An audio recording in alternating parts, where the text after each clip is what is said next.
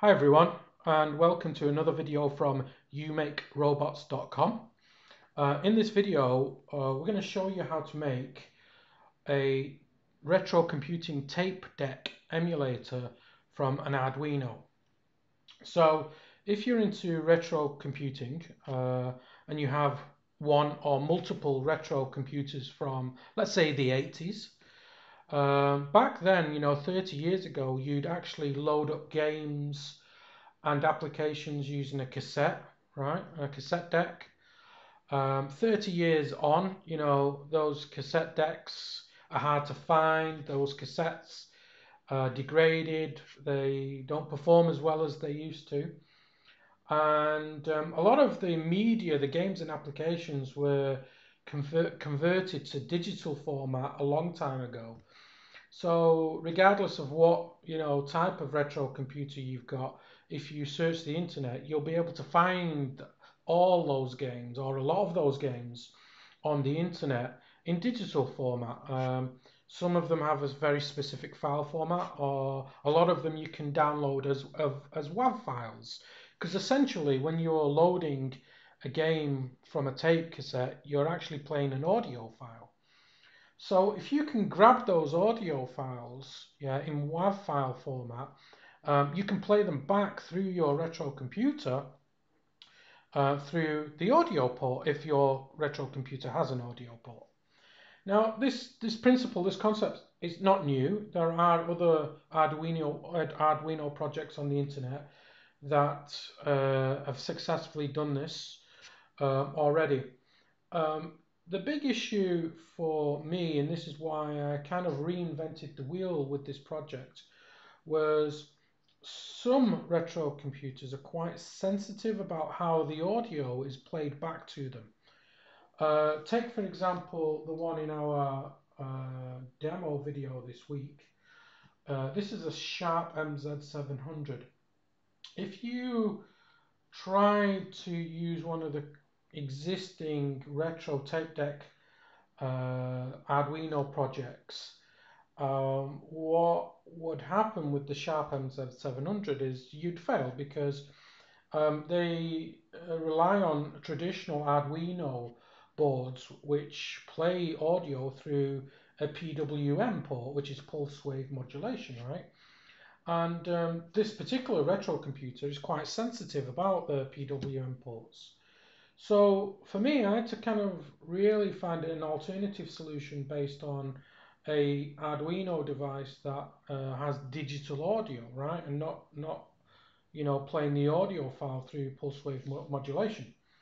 Uh, what I found was uh, an Arduino Duo, or and we'll show you this later, which is uh, kind of the same thing but in a nano format.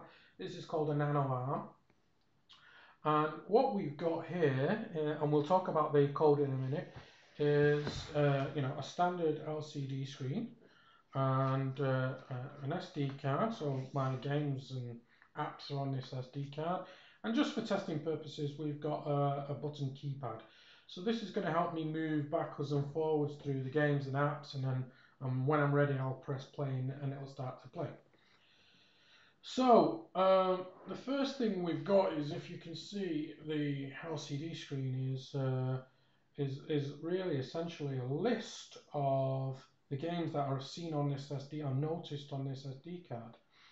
And the first line shows you the file name in uh, short uh, file name format, so 8 and 3, 8.3 format. Uh, and the second line shows you the full full name of the file name that's going to be played. Um, now, this is quite important because actually this is how this solution differs from the existing tape retro tape deck solutions. Um, the library driver for both of these Arduino devices requires that you send uh, the file name to those libraries in 8.3 format, so the short form file name format which is what you see on the first line. But I kind of wanted to spruce it up a little bit and show the actual way, you know, the actual long file format of the wave on the second screen because you might have some file names that are quite similar. So uh, I'll talk about the code in a minute. I'll get back to that and, and I'll show you how I did that because there was some, you know, complexity around that as well. Just making that whole thing of having the long and short file names together on the same screen. Uh, if I just move over to the, the button keypad, if I just kind of move, uh, you can see I've, I've actually just, I'll just do that again. All right, there's my button keypad and we can move through the old games. So there you go. Move back. It's not, oh, you know, 100% responsive, but that's kind of just a quirk of the code. So the idea is now I've got a game selected, right, yeah, in WAV file format what's going to happen is once I hit the play button, which is the third button at the top, right? It's uh, this Arduino device is going to play that WAV file through the DAC ports, which are over here. Uh, they go into this audio cable into the back of the retro computer, um, and uh, a few minutes later we'll see a game. So you know, let's see that in action, right? So first of all, I think the first thing we need to do is turn on the retro computer. Uh, actually, it's on the other side. So we've got a screen. Now on this computer, if you press L and then enter, it's now in a state of waiting for the, the file to be loaded. So I'll put the camera back down for a second. If I hit the play button here, which is this one, you'll see the screen change to play. Um, after a few moments, so we might have to speed up the video a little bit, uh, we'll see uh, that the screen says loading the game, so there you go, loading F1200, which is also known as Bomberman. So I'm going to speed up the video now for a little bit, uh, and we'll come back when the, when the game's loaded. So the game's now loaded. Um, as you can see, it's successfully loaded up. Uh, that would never have worked on this computer with the uh, existing retro tape deck emulator solutions based on Arduino. It purely relied on the fact that we've got a DAC digital audio port on this particular Arduino device. Um, and well, there you go, you know, there you got it, you successful game loaded. Um, before we jump into the code, let me just show you the difference and talk about the difference on the other board that we've got. The principle's the same. Um, now, what I've got here is I actually took the keypad off to use on my other Arduino, but really I should just put it back in here. Um, the code's the same. You'll notice there's a difference with the screen now. So whereas we had a LCD 16 by 2 screen before, I'm now using a low powered OLED screen here. The reason for that is these particular boards are um, you know quite low power. They drain a lot of power, and I just found it very difficult to try and power everything together as well as run aud digital audio. And the best solution I found was actually just to uh, use an OLED uh, screen, right? Um, there is a slight difference in the audio library as well. So uh, I managed with this particular unit just to take the mono 8-bit WAV files, which is normally how uh, you know retro games come. Um, load it up in the SD, and that would play straight away, no problem. Um, you know, principle's the same. I'd have a, a, menu screen here, and I could flip backwards and forwards through the games, and then press play. However, with this one, the audio driver, yeah, they had a bit of a quirk. I had to basically upgrade the WAV files to 16-bit or 32-bit format from the 8-bit format. Anyway, you, you saw it works. That's all we need is a working solution. Um, I'll document all of this uh, and uh, you know I'll probably put it uh, put the instructions up with the code on GitHub somewhere so we'll, we'll link this back in the video description later. But let's uh, let's switch over to the actual code itself. Let's have a look at that. So this is the this is the code for the Arduino Duo, and uh, I kind of need to explain a few things. I talked about before that you know we had a bit of a challenge getting the long and short file names together.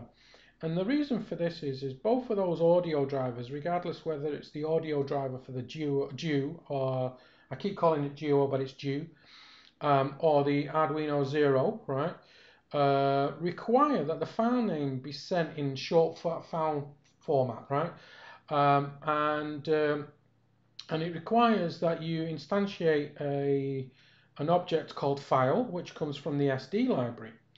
Now, the quirk, and this was this took a little bit of programming on my part, was actually if you put the SD FAT library, yeah, which we use here, and the SD library in the same piece of code, uh, we get a few problems. So the first thing is, is you can't instantiate an object of type file.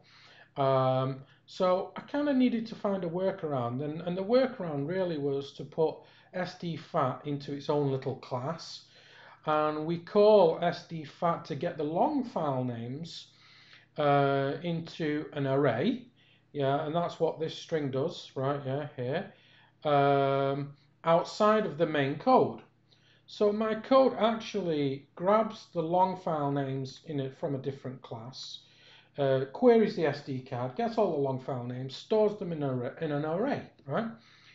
Um, and then we get the short file names because the audio driver requires the, you know, this uh, object of type file to be created, and you can't do that if you've got the SD FAT library uh, running as well as the SD library in the same piece of code.